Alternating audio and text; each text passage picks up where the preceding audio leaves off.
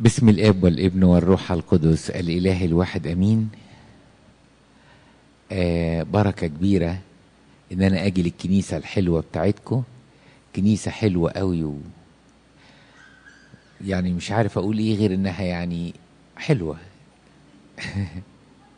طبعا هي حلوة اولا عشان بيت ربنا لأن أي بيت لربنا هو حلو لكن أكيد برضو آه ليها كده آه شكل حلو خالص. الحقيقة أنا يعني ما كنتش مرتب هتكلم في إيه. وربنا العالم لغاية ما دخلت الكنيسة هنا ما كنتش عارف اتكلم في إيه. فاخدت كرسي على ركن كده قلت يا رب ابعت أي حاجة يعني أي حاجة أتكلم فيها معاكم. أنا عاوز أتكلم معاكم على موضوع كده آية جت في سفر أشعية الإصحاح الأربعين. الآية دي بتقول إيه؟ بتقول ارفعوا عيونكم إلى العلاء. ارفعوا عيونكم إلى العلاء. يعني إيه؟ يعني لازم ترفع عينك. العين عاملة زي عدسة الكاميرا. ومادام اتفتحت هتبص هتبص. وهتلقط هتلقط وهتخزن هتخزن. والعين ما عندهاش غير two options يا تبص لفوق يا تبص لتحت. تعالوا نبتدي بالعكس. ربنا بيديني نصيحة بيقول لي ارفع عينك لفوق. طيب لو عيني ما كانتش مرفوعة لفوق وكانت بصة لتحت العين لما تبص لتحت تشوف إيه؟ تشوف إيه؟ ويحصل إيه؟ العين لما تبص لتحت تقع في خطايا كتيرة قوي. أول خطية لما عيني تنزل من على ربنا للأرض هتقع عيني في خطية اسمها خطية الغيرة والحسد. ما أنا شايف إن أنت عندك وأنا ما عنديش. وشايف إن ربنا مديك كل حاجة وأنا ما فيش. فبدخل في مقارنة المقارنة دي تدخلني في غيرة. والأسوأ من الغيرة الحسد. الكلام ده حصل مع مين؟ يا ريت مع واحد فقير. ده حصل مع واحد غني وكان ملك على بني إسرائيل اسمه أخاب.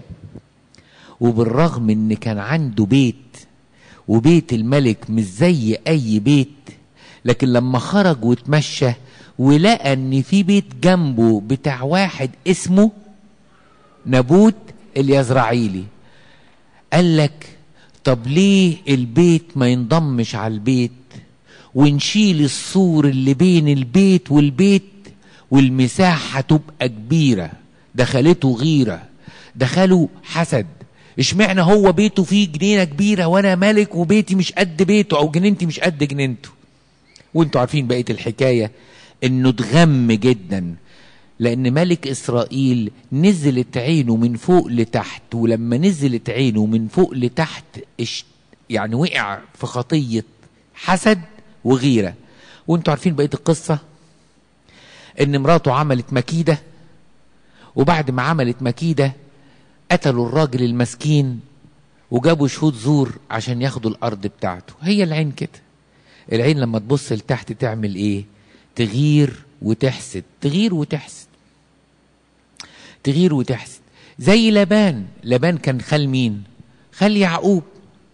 لما لقى يعقوب إن ربنا بيديله بركة في الغنم المنقط أنتوا عارفين الفكرة؟ كان هو قال له اديني فقال له كل غنم منقطة تبقى بتاعتي والغنم السادة بتاعتك انت. فربنا بارك ليعقوب فالغنم المنقط اللي هو المفروض يكون أقل في أي قطيع من الغنمان بقى أكتر. مين اللي غار؟ لأنه بص. والعين لما تنزل من على ربنا للأرض لازم هتقع في حرب اسمها حرب الغيرة وحرب الحسد. اشمعنى؟ أنتوا عارفين المثل المصري مش عارف فاكرينه ولا لأ؟ يقول لك إيه؟ يدي الحلق يعني إيه يدي الحلق للي بلا ودان؟ يعني سبحان الله وداني اهي مدلدله على كتفي مفيش فردة حلق أحطها. وواحدة ودنها مقطوعة يطلع لها في البخت حلق. لأ. لا. دي مشكلة مين؟ مشكلة اللي إيه؟ العين. فالعين لما تنزل لتحت للأسف تغير ولما العين بتنزل لتحت وتغير حتى التلاميذ حتى التلاميذ القديسين وقعوا في الحرب دي. غيرة غيرة. كانوا يغيروا إن يوحنا قاعد جنبه وبعدين يسألوا المسيح سؤال يقولوا له عاوزين نسألك سؤال. لما تيجي بقى في مجدك كده وفي ملكوتك وتبقى ملك الحتة اللي تحت دي مين هيقعد على يمينك ومين هيقعد على شمالك؟ اوعى يعني يكون عندك آه، حد أحسن. بنغير بنغير بنغير. لما عينينا تنزل لتحت نغير. دي حتى مشهورة قوي مشهورة قوي. إن ده, ده أنتوا عارفين لما حد بيبص ده أنا هقول لكم على حكاية كده فاني كده في دقيقة واحدة بنت من بنات الثانوي دخلت عندي بتعترف. بتقول لي يا أبونا أنا بعترف غلط. قلت لها لا يا حبيبتي قالت انت بتكروتني؟ قلت لها لا ما بتكروتنيش. قالت لي طب اشمعنى كل البنات بيقعدوا ربع ساعة وأنا بقعد خمس دقائق قلت لها هم بيقعدوا ربع ساعة وأنت بتقعدوا خمس دقائق قالت لي لا ما أنا قاعدة بره متغاظة منهم. قلت لها متغاظة قالت لي غيرانة لحسن تكون أنت بتحبهم أكتر ما بتحبني فبتديهم وقت أكتر ما بتديني أنا وقت. على مستوى سنها وعلى مستوى طفولتها عديتها لكن الفكرة فكرة إيه؟ لما الواحد بيبص يحصل له إيه؟ يغير. هحكي لكم حكاية تانية. على أب راهب كان عنده قلاية وعنده قلاية وراجل كبير قوي فجابوا له قلاية أقرب من الدير فبقت في قلاية بعيدة وفي قلاية إيه؟ قريبة. فهو ساكن في القريبة وساب البعيدة. في يوم من الأيام جم وقالوا له ده في راهب جديد في الدير ومش لاقيين له مكان. قال لهم المحبة يعني أنا عندي يعني ياخد القلاية بتاعتي. هو شاب ياخد القلاية البعيدة. الراهب الجديد الشاب ده اخد القلاية الإيه؟ البعيده بس أبونا الشاب الجديد ده كان ربنا مديله مواهب إن يقول كلام طيب يطيب بيه الناس يشفي حد عيان. شهر اتنين تلاتة الراهب الجديد بقت الناس تجيله طوابير زيارات طوابير زيارات. الراهب القديم اللي قاعد في الدير سمع الحكاية. عشان بص على الأرض وما بصش على السماء دخلته حرب الإيه؟ الغيرة. فقال يا نهار أبيض الراهب بتاع أول امبارح. وإحنا بقالنا 40 سنة رهبنه في الدير وده أول امبارح يجي وكل دي طوابير. فراح جاب التلميذ بتاعه قال له تروح للراهب اللي هناك وتقول له معلمي عاوز القلاية بتاعته شوف له حتة تانية. ياه! راهب يتحارب الحرب دي؟ ده الكلام ده كان زمان يعني في القرن الخامس الميلادي أو السادس الميلادي لكن هي حرب. لو الإنسان بص لتحت ونزل عينيه من على السماء يقع في حرب الغيرة. وتلاقي يا خبر أبيض ده ممكن ممكن اتنين خدام في فصل واحد. بدل ما هما الاتنين يبصوا للمسيح اللي عاوزين يوصلوه للولاد يبتدي يبص كل واحد شعبيته بين الولاد قد إيه. فتلاقي في خادمة بتغير من خادمة. ليه؟ البنات أول ما بتيجي Miss أماني Miss أماني جت Miss أماني جت. وتشعبطوا زي قرود الجبلاية على كتافها وعلى بطنها وبتاع ويلعبوها وتلعبهم ويزغزغوها وتزغزغهم. طب وأنا؟ Miss رانيا. أعمل أنا يعني أنا أعمل إيه؟ يعني أعمل أعمل إيه يعني؟ أهولهم بقى ولا أعمل ولا أغسل لهم وشهم؟ يعني مش عارف أعمل إيه يعني. فشوية شوية تلاقيها جواها إيه؟ دخلتها حرب الغيرة. ليه دخلتها حرب الغيرة؟ لأنها بصت لتحت. الكلام ده ينطبق عليا وعليكم وعلى كل واحد. وعشان كده عايز أفكركم بالآية بتاعت أشعياء 40 بتقول ارفعوا عيونكم إلى إيه؟ العلاء. خلي عينك مع ربنا لأن عينك لو نزلت تحت غصب عنك غصب عنك هتقع في حرب اسمها حرب الإيه؟ الغيرة والحسد. طيب النقطة اللي بعد كده. النقطة اللي بعد كده. طيب إيه تاني يحصل لو الناس أو الواحد عينه نزلت من فوق لتحت؟ إيه اللي ممكن يحصل؟ تاني حرب أن العين تقع في خطية الشهوة. بيقول لك ارفع عينك للعلاء خلي عينك لفوق لأنك لو نزلت عينك لتحت مش هتحسد وتغير وبس لا ده أنت هتقع في خطايا زي خطايا الإيه؟ الشهوة. آدم وحواء أكتر اتنين ينطبق عليهم الكلام دول. كانوا في الفردوس وعينيهم مع ربنا على طول لغاية لما جه عدو الخير. قال لهم نزلوا عينيكم كده نزلوا عينيكم من فوق وبصوا على الشجرة دي. فأول ما بصت حواء على الشجرة دي قالت إيه؟ قالت وجدت أن الثمرة بهجة للعيون شهية للنظر. اشتهتها بعينيها. اشتهتها بعينيها.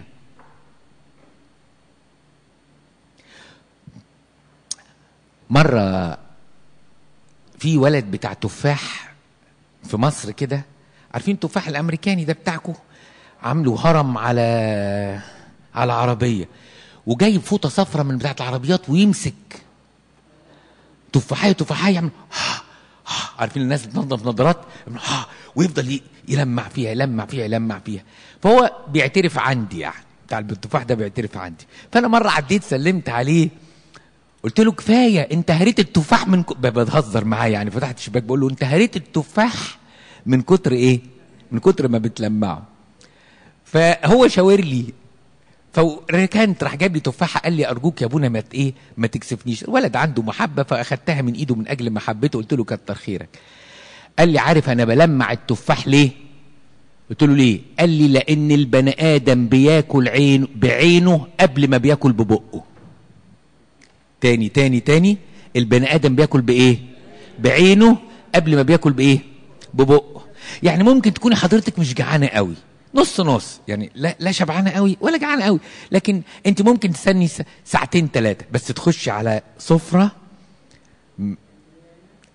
لا أو مترتبة صح اصل ده فن. وتلاقي يا مم، يا مم، أو أي إنسان يكون بيحاول يعمل رجيم عشان وزنه زايد شوية ويحاول يخس.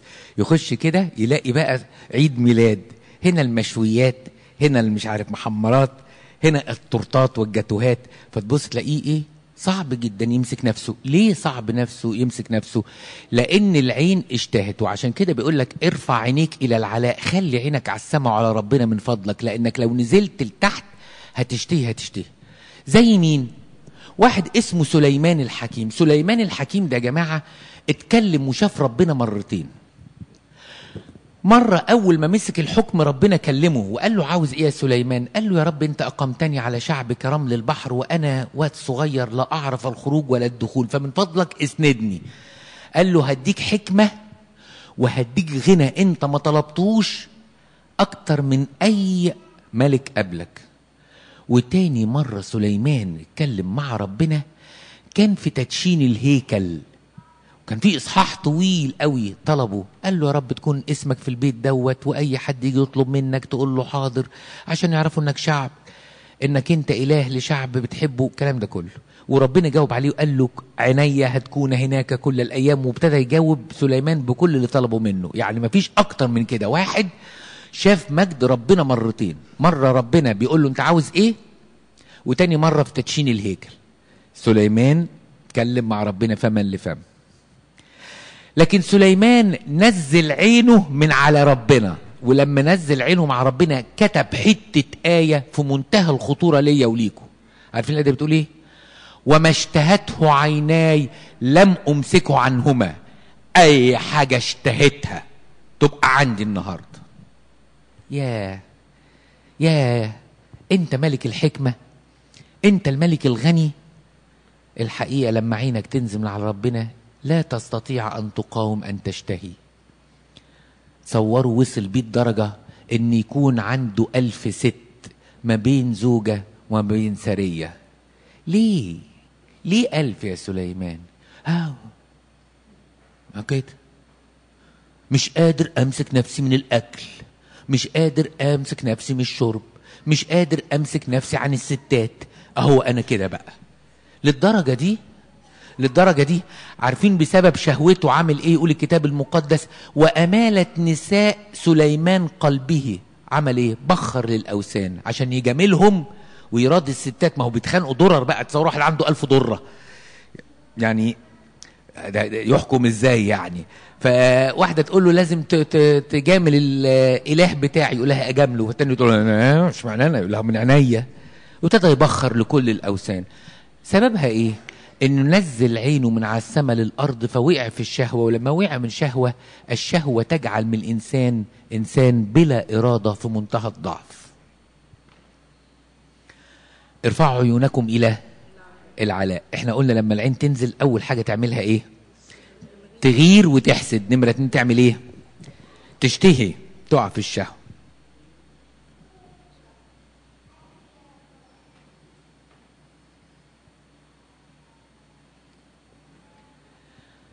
العين لما تنزل من العلاء وتبص للأرض تقع في خطية تالتة اسمها تعظم المعيشة.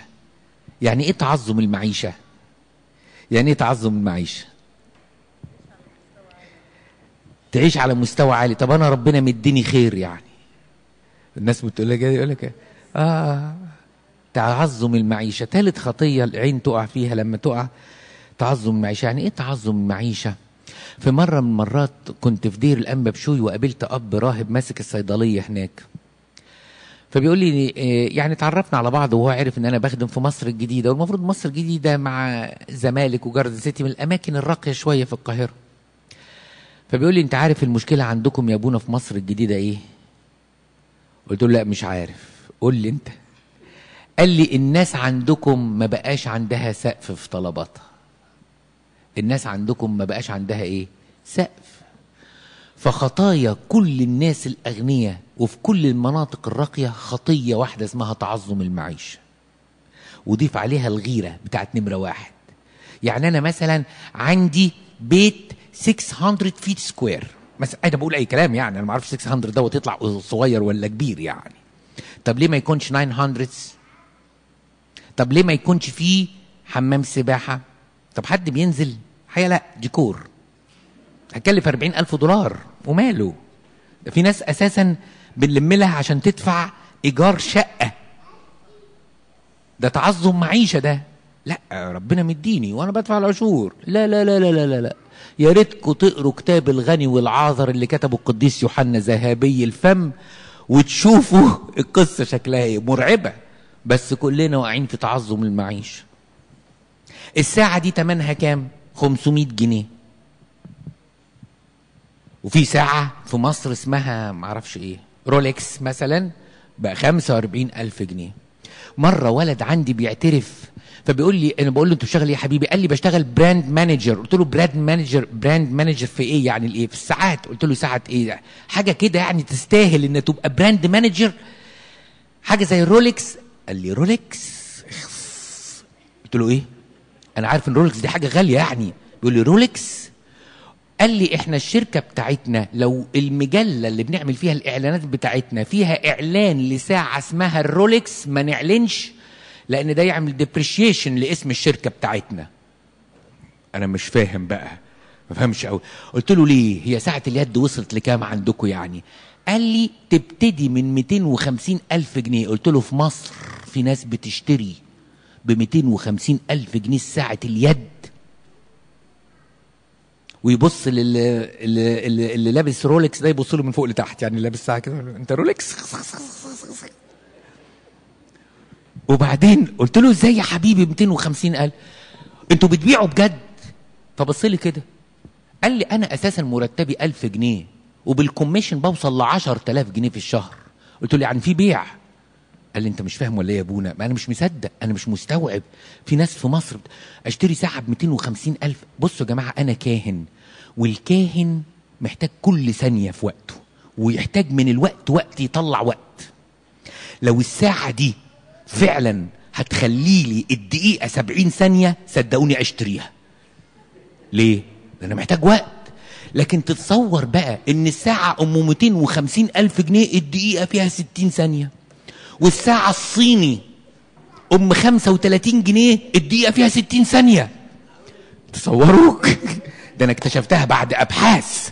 لأن فضلت أعمل بحث ما الفرق بين الساعة أم 40 جنيه والساعة أم 250 ألف جنيه؟ ولقيت إن الفرق حاجة واحدة بس خطية اسمها تعظم المعيشة. وعلشان حضرتك هنحط لك فيها ست فصوص ألماس كمان عشان نزود مئة ألف يلا مئة ألف ورزق مش عارف مين على مين والناس بتشتري. والناس إيه؟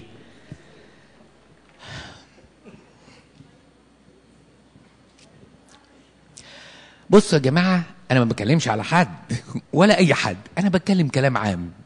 مش كده؟ أنا ضيف وما أعرفش حد فيكم بس أنا بتكلم على العين لو نزلت من السماء للأرض هتقع في الخطايا الآتية. الخطية الأولى اسمها خطية الإيه؟ الغيرة والحسد وخدنا الأمثلة بتاعتها. الخطية الثانية اسمها إيه؟ الشهوة وخدنا الأمثلة بتاعتها. ثالث خطية هي إيه؟ تعظم المعيشة. ودي بقى يعني unlimited. وغصب عننا إحنا واقعين فيها بمقدار يعني واقعين فيها بمقدار وبعدين تم مقدار حاجات الحقيقة بقينا نتسرق فيها. بس إحنا كناس روحيين مش المفروض نتسرق فيها. وعندنا في مصر بقت في مبالغات على فكرة. في مبالغات بزيادة قوي. يعني كان زمان فاكر إن إحنا بندوس على بلاط. وبعدين البلاط ربنا نفخ في صورته بقى سيراميك. وبعدين السيراميك لما اتنفخ في صورته بقى بورسلان. وبعدين بعد البورسلان بقى رخام. والرخام يبتدي من 150 160 جنيه المتر لغاية 1000 جنيه المتر. المتر مربع ب 1000 جنيه. يعني هل لما أنا وقفت على متر ب 1000 جنيه القداسة زادت؟ قربت من السما شبر؟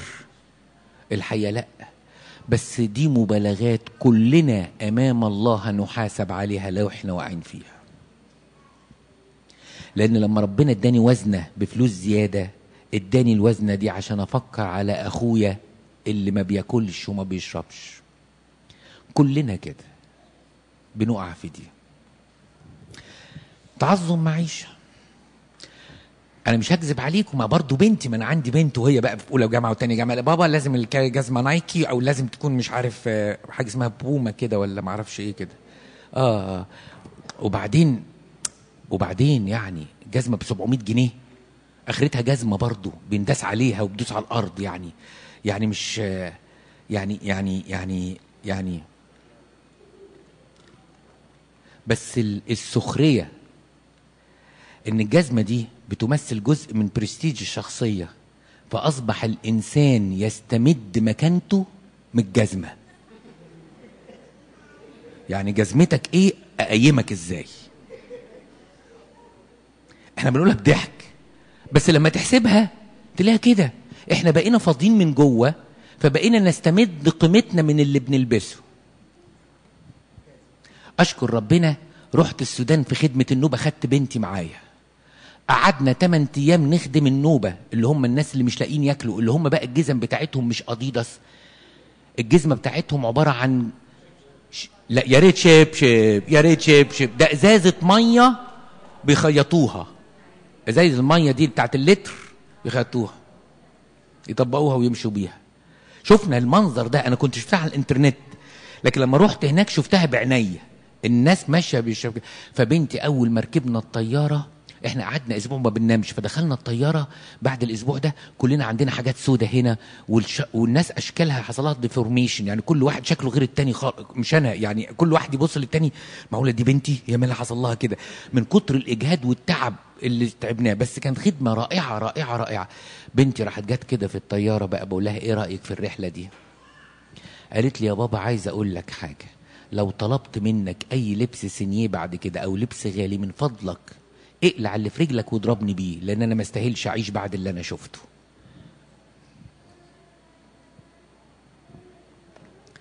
لكن طول ما أنا قافل على نفسي وفي أنانيتي وفي انعزالي عن الآخر تعظم المعيشة هياكلني خلي بالكم خلي بالكم لأن الزحلقة في تعظم المعيشة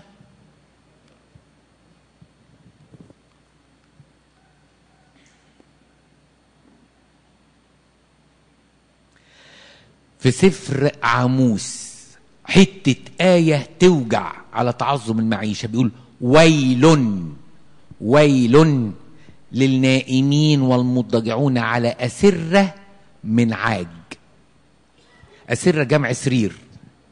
فواحد عشان يبين عظمته يعمل إيه؟ يعمل سرير من عاج سرير من عاج دوت وهو في أورشليم. يعني لازم يبعت قافلة. لغاية السودان على الأقل زمان كانت الأفيال توصل للسودان. عشان يقتلوا 10 15 فيل بالرماح عشان يجيب اللي بيسموهم إيه؟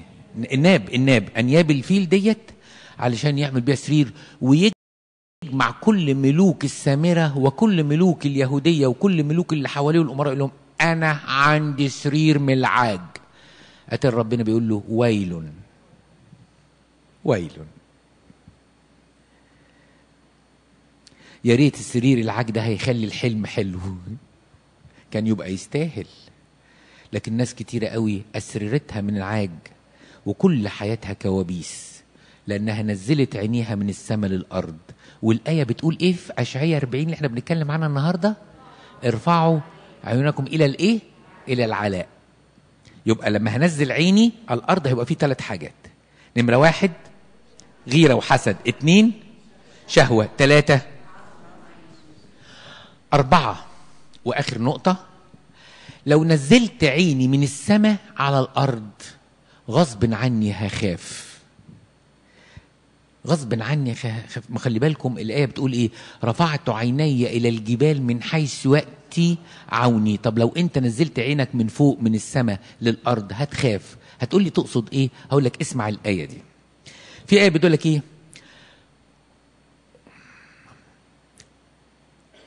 ونظر بني إسرائيل بعيونهم وإذ المصريون واصلون وراءهم لا آسف راحلون وراءهم ففزعوا. يعني إيه ففزعوا؟ هم حصلت حاجة معاهم قوي. رفعوا عينيهم للسماء وصلوا لإله السماوات وموسى حط العصاية على الأرض إيه اللي حصل؟ اتشقت الأرض ومشوا في البحر. مشوا تصوروا المية كده انسحبت حيطة واتسحبت حيطة والناس ماشية على الأرض. نزلوا عينيهم من ربنا اللي فتح لهم البحر ونسيوا إن ربنا فتح لهم البحر بصوا لقوا المصريين جايين يعني لما نزل عينه وشافوا المصريين إيه اللي حصل له؟ خاف. ودي مشكلة الناس اللي في مصر دلوقتي. كله خايف من بكرة على شغله على فلوسه. أنا عمري عمري يعني أنا طول عمرنا يعني آباء الاعتراف عندنا بيدوا اعتراف وإرشاد بس جات لنا في الفترة الأخيرة أسئلة عمرنا ما كنا بنسألها. وحد يخش يقول لي يا ابونا احول الفلوس دولارات ولا أخليها مر... ولا أشتري ذهب؟ يا ابني أنا مش رجل اقتصاد. أنا رجل الله يعني أنا أقول لك تصلي قد إيه وتصلي إزاي ولما تسرح تعمل إيه. يعني تقرأ إيه في الكتاب المقدس وتقرأه إزاي؟ ده شغلتي لكن ذهب ولا استرليني دي مش بتاعتي. بس الناس بقت panic panic ليه؟ لأن هم نزلوا عينيهم من على السماء للأرض فخافوا من اللي في الأرض. ربنا يعدي شعب بني إسرائيل وبعينيهم يشوفوا حرب مع ناس اسمهم عماليق. وفي الحرب مع عماليق شافوا معجزة إن لما موسى كان بيصلي ويرفع إيديه قائد الجيش اللي اسمه يشوع ينتصر ولما كان يتعب وينزل إيديه كان ينهزم. وبعدين شعب بني إسرائيل عشان يخش أرض كنعان موسى بعت 12 جاسوس. اتنين منهم كانوا باصين للسماء واحد اسمه يشوع بن نون واحد اسمه كالب ابن يفنة كالب ابن يفنة ويشوع بن نون. وعشرة بصوا للأرض. فلما رجعوا الجواسيس يدوا report على أرض الميعاد وأرض كنعان. يقول لك العشرة اللي نزلوا عينيهم من السماء يقول لك أذابوا قلب الشعب. عارفين يعني إيه أذابوا قلب الشعب؟ يعني رعبوا الشعب. قال لهم دول ناس كبار ناس بتوع حرب وإحنا ملناش في الحرب. بس كان في اتنين اللي هم يشوع ابن نون وكالب ابن يفن كانوا باصين لربنا وباصين للسماء. فقالوا لأ ربنا اللي عدانا البحر وغرق فرعون ربنا اللي خلانا ننتصر على العماليق قادر أن يعطينا الأرض ويدينا النصرة. على أعدائنا. ده الفرق بين الإنسان اللي يبص لفوق والإنسان اللي يبص لتحت. اللي يبص لتحت هيخاف من بكرة ويقلق على القرش ويقلق على الصحة ويقلق على أولاده. لكن اللي باصص لفوق يقول له ما أنا سلمتك كل دول دول أولادك أنت والصحة بتاعتك واللي يحصل يحصل طول ما أنا معاك مش فارقة معايا. ارفعوا عيونكم علشان ما نقعش في الإيه؟ واحد الغيرة. اتنين الشهوة. تلاتة. أربعة. الخوف عندنا لسه خمس دقايق. خمس دقايق. ألاقي بق مية. مفيش أي بق مية.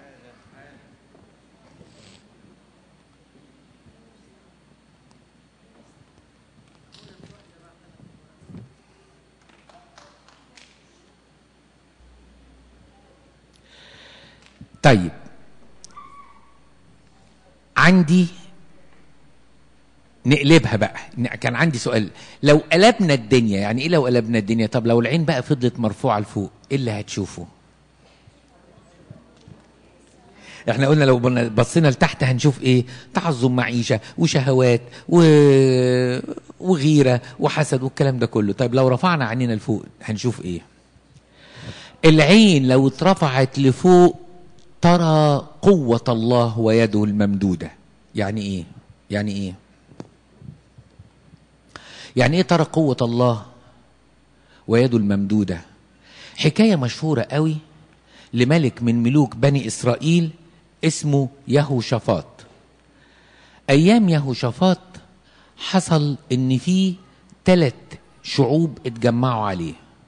شعب اسمه المؤابيين وشعب اسمه بنو عمون أو بني عمون أو العمونيين والشعب الثالث اسمه جبل سعير. وقف يهوشافاط يصلي لربنا ورافع عينيه للسماء. شوفوا قال لربنا إيه؟ قال له يا رب نحن ليست فينا قوة. خلاص إحنا ما عندناش قوة ولا حرب ولا نعرف نعمل حاجة. ولا نعلم ماذا نفعل. ولكن نحوك أعين. يعني هنرفع عنا للسماء بقى وانت آخر رجاء لينا. ما هنعرفش نعمل حاجة. لأن الحقيقة إحنا كشعب بني إسرائيل ممكن نحارب دولة زينا لكن ثلاث شعوب يقوموا علينا هنتفرتك هنتفرتك وهياكلوا عظمنا قبل لحمنا. فيعني الحقنا. ولكن نحو نحن لا نعلم ماذا نفعل ولكن نحوك إيه أهو دي ناس رفعت عينيها للسماء تعالوا نشوف إيه اللي يحصل. ينام يهوشافاط ربنا بعت له كاهن. يقول له يا يهوشافاط قال له نعم. قال له انت مش رفعت عينك للسماء واديتني التوكيل الرسمي ان أنا اشتغل؟ قال له آه إحنا ادينا لك توكيل رسمي. حد ممكن يقفل لنا باب الكنيسة لو سمحتوا؟ يعني علشان بس دوشة الأطفال بتشتتني.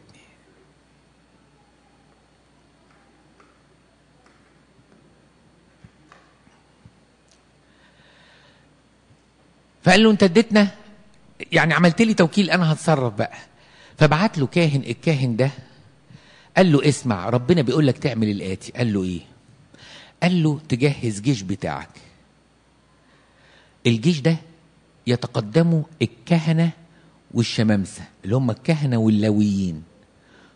ويجيبوا بدل ما يشيلوا السلاح يشيلوا البوق والمزمار والدف. وترتلوا. قال له يا رب. كتر هي خيرك. أصرت انها هي اللي تجيب الإزازة وتبقى سخنة. صح. هي حافظة. ربنا يعوضك يا أبي.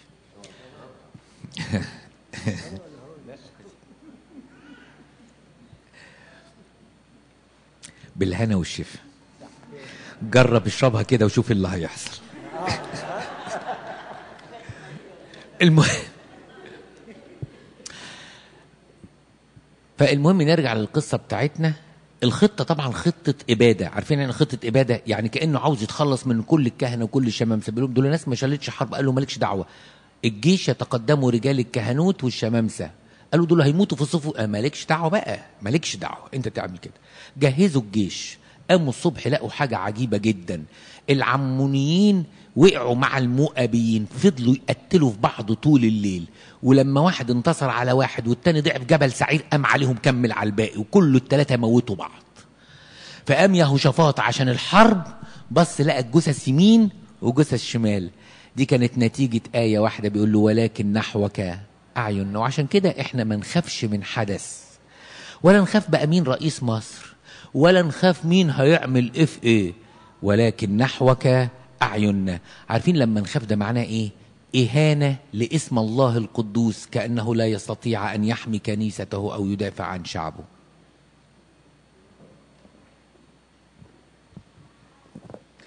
طيب يبقى لما هرفع عيني أول حاجة هشوفها إيه؟ قوة عمل الله ولكن نحوك أعين.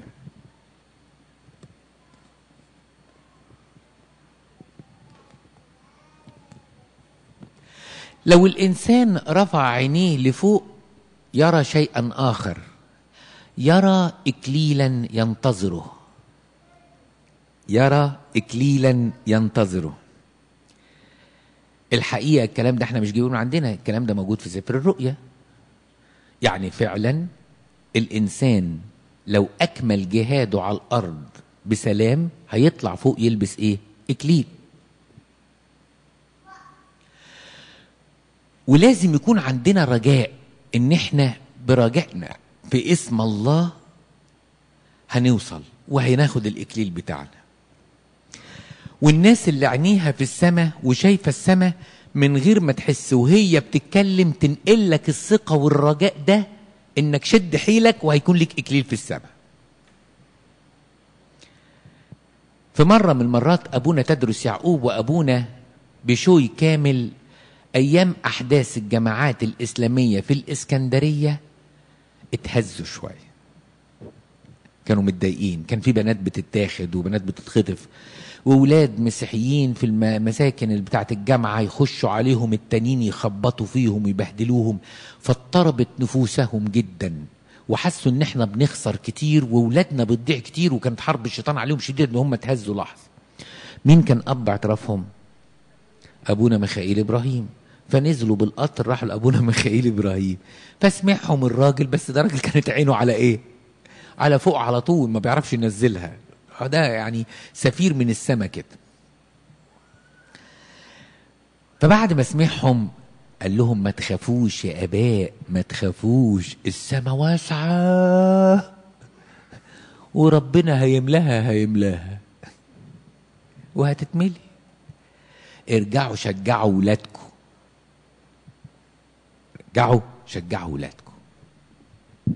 علشان اللي هيصمد ليه اكليل وعشان كده المسيح يشجعنا على الجهاد الروحي ويقول لنا كده اسهر وصلي وتوب لئلا يأخذ أحد منك إكليلك. فالإكليل يستاهل.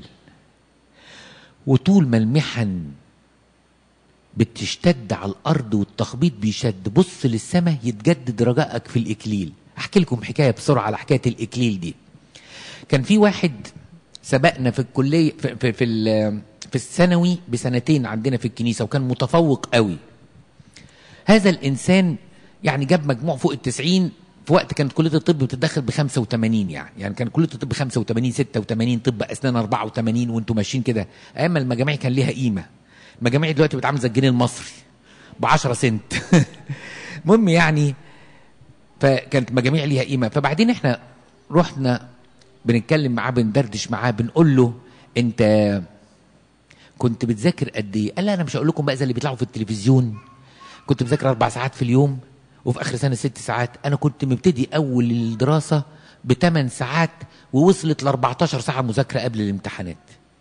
ما كانش أيامنا بقى في دروس زي الدروس بتاعة الثانوية العامة دلوقتي. لو حد بس أنا أنا لو سمحتوا الأطفال بتعمل لي ديستربنس ما بقدرش ما بقدرش أركز. فكل أم عندها طفل يا تتولاه جنبها يا إما تستنانا بره وتسمع الصوت من بره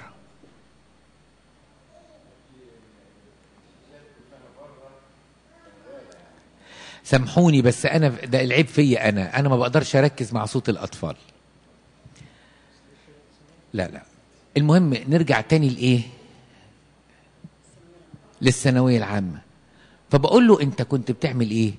قال أنا هقول لك حاجة. هو كان ساعتها في عربية اسمها نصر 125 العربية دي كانت نازلة جديدة. ده قبل ال 127 حاجة ما أعرفش يعني عربية فيت يعني. كان الحجز بيها فبابا قال لي بابا قال لي لو دخلت كلية الطب من أول يوم هتخش الكلية هتخش الكلية بعربية وكانت عربية بقى ساعتها غالية قوي ب 4500 جنيه يعني.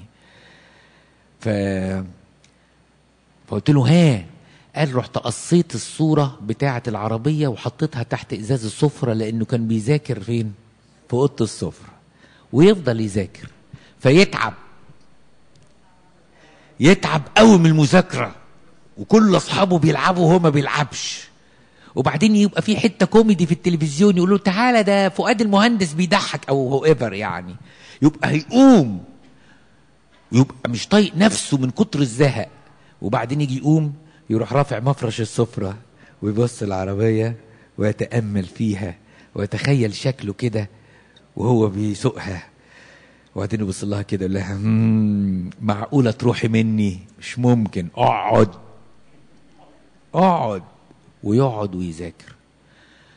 فأجل من أجل إكني إكليل يفنى الناس بتتقاتل عشان ميدالية ذهبية في الأولمبيات وميدالية فضية وميدالية قتال. كل واحد من اللي أنتوا بتشوفوه في الأولمبيات حاليا اتدرب قد إيه عشان يوصل للليفل ده والأداء ده والمستوى ده. اتدرب سنين سنين. بمجهود كان بيوصل إنه يتدربوا 10 و12 ساعة في اليوم. كل يوم. عشان ميدالية ذهب. طب الإكليل اللي المسيح جهزهولي وبإيده هيلبسهولي يستاهل مني إيه؟ يستاهل اللي قاله بولس الرسول من أجلك نمات كل النهار. يبقى اللي يرفع عينه للسماء هيشوف إيه؟ الإكليل. ويشوف إيه قبليها؟ قوة الله. واللي هيحط عينه على الأرض هيحصل له إيه؟ وينزل عينه السماء. هيقع في الغيرة ويقع في الشهوة ويقع تعظم المعيشة ويقع في الخوف والفزع. خلي عينكم فوق. كلموه وفضفضوا معاه. كان عندي ولد من ولادي في كندا. لسه حكي لنا الحكاية دي لحد امبارح ولا النهارده مش فاكر. كله دخل في بعضه الولد ده كان مهندس ووصل بيه إن هو كان مش لاقي ياكل فكان بيلم التلج بإيديه من على البيوت عشان ياخد من كل بيت خمسة دولار مثلا عشرة دولار. فياخد حي كده يعمل لهم عقد لمدة شهر في الشتاء. والفلوس بتتصرف يعني كل اللي بيجيبه قليل مقارنة باللي يتصرف. يعني بيلم له مثلا سي مثلا في اليوم 70 دولار تبقى المطلوب منه مصاريف بسكن مش عارف مين 80 دولار. فوصل لدرجة إنه كان واخد معاه 12 ألف دولار من مصر. خلصوا وبيشيل التلج. والصحيح لابس جوانتي بس مع الوقت الجوانتي بقى يوصل السقعة. فكانت إيديه بتتشقق ويحس إنها نار يعني سخونة تلسعه. دي اسمها لسعة التلج دي. ففي مرة من المرات وقف قدام ربنا. هو كان بيصلي كل يوم بيصلي عادي يعني. يعني يا رب بقى يا رب بقى اتحنن يا رب بقى اعمل حاجة يا رب يوميها صعبت عليه نفسه خالص. لأن ده كان آخر يوم وقف كده فيه ماهوش ولا مليم. قال له اسمع يا رب بيعيط راجل بقى ومهندس وبيعيط. مش راجل قوي يعني 28 سنة 29 سنة صغنطت يعني. بيعيط كده وقال له اسمع يا رب اسمع يا رب. انت قلت عمرك ما بترد عين فيها دموع. أنا بكلمك والدموع نازلة بتكوي في عز السقعه خدودي ان لو انت ما حلتش المشكلة دي بكرة أنا راجع مصر. وانت عارف لو رجعت مصر بعد بعت كل حاجة وصرفت كل حاجة مش هبقى ولا حاجة. طب استنى عليا لغاية لما آخد الجنسية ورجعني. لكن لتكن مشيئتك راجع الساعة هو كان يشتغل من الساعة على فكرة 3 صباحا لغاية 9 الصبح بس عشان ينظف قدام العربيات يعني. هو دي شغلته. فراجع الساعة 9 الصبح لقى هو ساكن في أوضة شركة وفيها كده ممر فلقى جواب. بيفتح الجواب لقى أكبر شركة اتصالات في كندا بتتصل بيه وبتقول له ال application اللي أنت بعته من 8 أشهر 8 أشهر وال interview اللي عملناه لك من 6 أشهر قبلناك. تعالى استلم الشغل من بكرة بمرتب starting salary ما يوازي 4800 دولار في الشهر.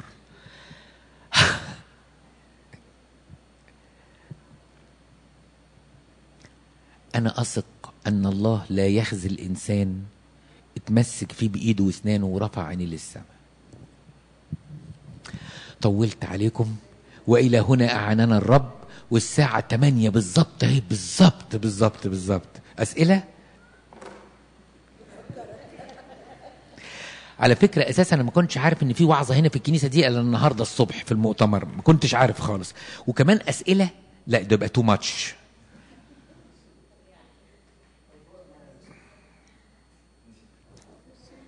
طيب طب حاضر. هل من الممكن تعطينا تدريب عملي على التخلص من خطية تعظم المعيشة التي تحاوطنا في هذه البلاد من كل ناحية؟ كيف نقتني الشبع الداخلي؟ لا ده سؤال تاني.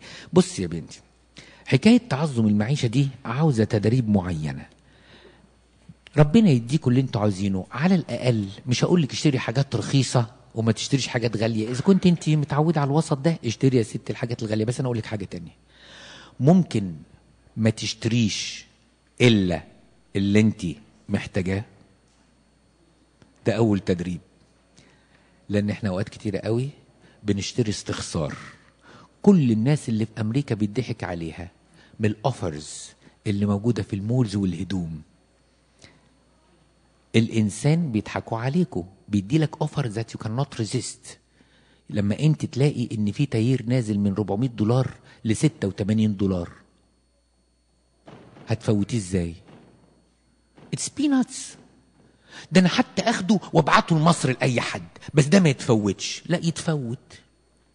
وابعت 86 دولار دول للصومال أو للنوبة أو لناس مش لاقية تاكل بتحفر الأرض بضوافرها عشان تلاقي جدر نبات تعصره ببقها وتطلع منه بق مية.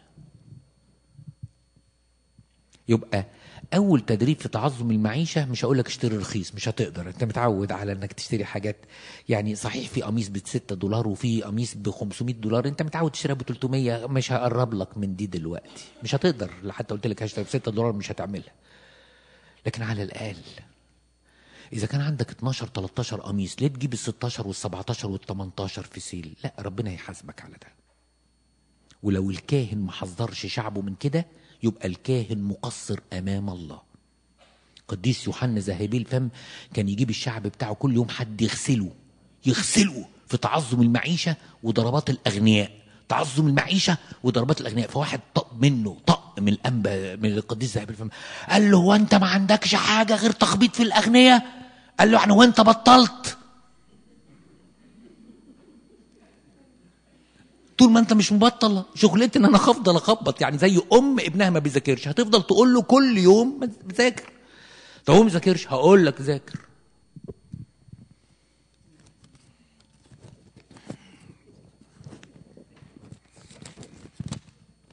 أبونا أنا بطلب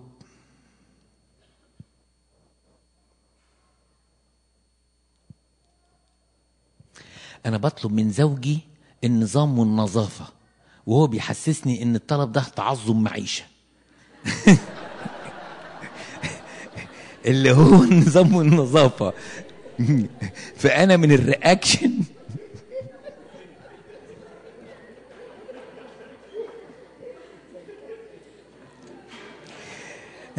اولا كتر خيرك لأنك ضيعتي تعب الثلاث أيام اللي فاتوا. يعني أنت ضحكت من قلبي فعلا. فأنا بتنرفز من الرياكشن ده وبتعصب وحاسة إن هخسر السما بسبب الغضب والنرفزة. أعمل إيه؟ أشوف الدنيا مقلوبة وملخبطة. وإيه؟ وأحط عيني لفوق على ربنا يعني.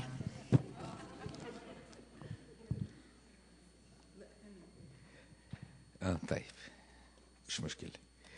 يعني دول لسه ما تقروش. هو قولي له أبونا دور على العلاقة بين تعظم المعيشة والنظافة ما لقاش. فلو انت تعرف تلاقي له شاهد يثبت إن النظافة تعظم معيشة أقول له يبقى أنت كسبت فابونا ثواب على الأقل لما أتسأل السؤال ده ما حدش يحرجني أبقى عارف إجابته يعني. فأنا الحقيقة مش لاقي أي علاقة بين النظافة وتعظم المعيشة. بس انت ما تتغصيش. انت نظفي وروقي واعملي اللي عليكي وسيبك يعني مش اخطيت. يعني يعني يعني يعني ما تشككي ما تشككيش إن النظافة تعظم معيشة. النظافة حاجة وتعظم المعيشه حاجة تانية.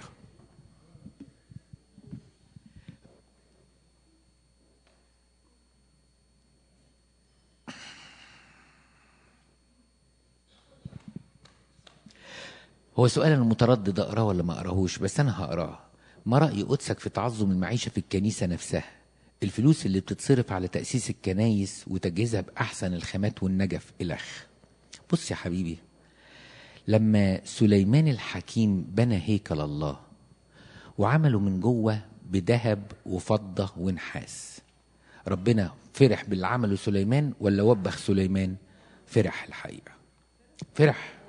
فرح. أبونا بيتكلم بقى. ولا أنتوا تيجي تجاوبوا السؤال مكاني؟ ما عندناش النظام ده. أبونا بيتكلم يبقى كله يسمع. بص في واحد ربنا تقل قلبه. يعني إيه تقل قلبه؟ يعني وجه قلبه إن يطلع الفلوس دي للكنيسة. هو حر؟ وفي واحد تاني يقول لأ بلا ديكورات بلا فشخرة أنا فلوس الإخوة الرب.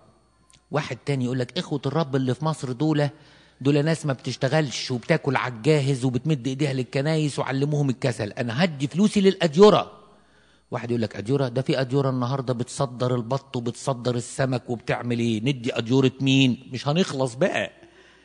فكل واحد يخليه في نفسه. وسيب اللي عاوز يدي لربنا ويمجد بيت ربنا إن شاء الله بأيقونة من الذهب يا أخي هو حر. هو طلع من جيبك انت؟ فلوسك انت مش عاجبك النظام ده؟ طلعها للفقراء طلعها لاخوه رب طلعها الملاجئ وواحد عاوز يكرم ربنا في بيته هو حر. طب ما هو معظم الأواني بتاعت المسبح من الفضة والطقم النهارده لما بيبقى تقيل وكبير على كنيسة كبيرة بيبقى مش أقل من 15000 جنيه. طب ما نقول طب ما نعملها ستينلس ب 17 جنيه الصينيه و... و15 قرش المست لا كل واحد اللي طالع منه كده. إحنا عندنا لما واحد بيجي يقول لي يا ابونا دوت ندر يعني في واحدة ست مداني ندر لثلاث نجفات على كنيسة اسم قديسة هي حلمت بيها. القديسة دي لا توجد كنيسة في العالم على اسمها. أنا مش عارف أعمل إيه. مش عارف أعمل إيه. نعم؟ ابني لها كنيسة على رأيك. عارفة الزرار والبدلة؟ يقول لك واحد لقى زرار فصل له بدلة. أوكي. لكن شوفي شوفي هو ربنا حط في قلبها حاجة. فضلت أدور أدور أدور أدور أدور لغاية لما لقيت مسبح في كنيسة في الصعيد.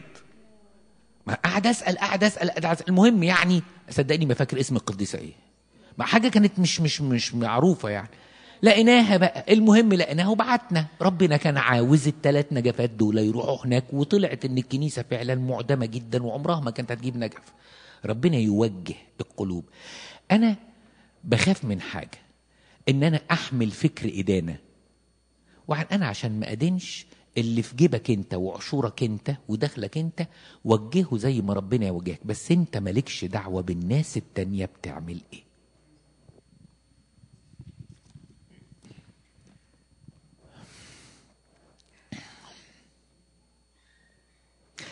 إذا كان الله يحبنا كل هذا الحب البذل ابنه الوحيد لكي لا يهلك أحد فكيف قليلون هم الذين يخلصون؟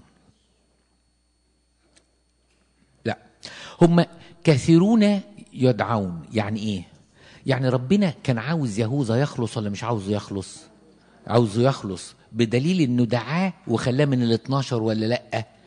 لكن يهوذا نفسه بالرغم إن الدعوة كانت متاحة هو اللي ساب المسيح. يبقى مش غلط المسيح. لأن المسيح يريد أن الجميع يج... اقرأ قول معايا كده الايه الجميع يخلصون. يبقى هو إرادته من محبته للبشر عاوز كل الناس تخش.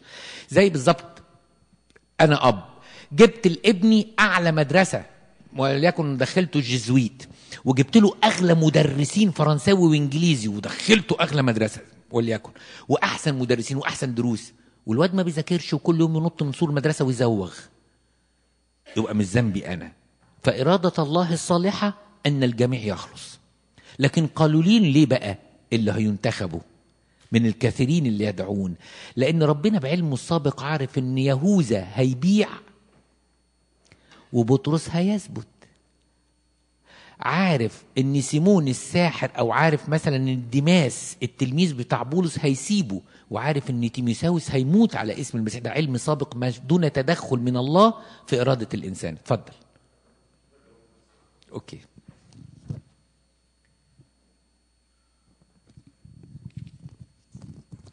آخر سؤال. أنتوا هي الدنيا حررت ولا حاجة؟ هو يظهر لما اتكلمت على تعظم المعيشه أبونا فصل التكييف. اديله بقى اديله خليك قد قولك يا أبونا بولس بقى. لا تكييف ولا دياول. طب ورقة أهوي. أنا موافق مش عاوز تكييف. أوكي. أبونا أنا حاسة إن حياتي كلها سعيدة ربنا يزيدك يا بنتي. مش حاسة في صليب في حياتي زي الناس اللي حواليا. وحقيقة أنا بشكر ربنا على كل حال دايما وحاسه إنه بيعطيني أكتر مما أفتكر أو أطلب وأنا بحس إني غير مستحقه لأن طبعا بخطي زي بقية البشر ورغم ذلك ربنا معزيني بخيرات. فهل ممكن يكون في صليب جاي وأنا متزوجة وعندي أولادي؟ واحيانا بشعر إني ما أقدرش أحتمل صليب. لا بصوا ما حدش يفكر كده. ما حدش يفكر كده. الصليب يجي إزاي وامتى وهيكون شكله إيه وفي إيه؟ ما حدش عارف. إحنا ما نفكرش كده لأن ده بيدخلنا في كآبة وسجس وتوجس من بكرة ومن خوف يا ترى يحصل إيه ويا ترى يحصل إيه ويا ترى يحصل إيه؟ لا لا. انت اشكري ربنا على اللي انت فيه وقولي له أنا أضعف يا رب من إن أنا أحمل صليب وإن سمحت يا رب فمن فضلك تعالى وشيله معايا. عشان أنا مش هقدر أشيله لوحدي لو سمحت. بس أنا بقول لك أهو لا تدخلني في تجربة. ده أنا عيلة عيلة يعني. أنا عيلة أهو بقول لك أهو هفرفر هفرفر. فأنا بقول لك الحقني ما تدخلنيش في تجربة. بس ثقي إن المسيح لما بيلاقي نفسي بتحبه ونفسي شاكره قوي حتى لو ربنا سمح بحتة ألم أو حتة تجربة قبل ما بيسمح بيكون أهل الإنسان كويس قوي إنه يقدر يشيله. وربنا لا يدعكم تجربون فوق ومع التجربة يعطي مش كده برضو؟ ما تخافوش. بس خلي عينيكم على السماء عشان ما ننساش الآية اللي وعظنا عنها النهاردة في أشعياء 40 بتقول إيه؟ ارفعوا عيونكم إلى لإلهنا كل مجد وكرامة الآن وإلى الأبد. آمين.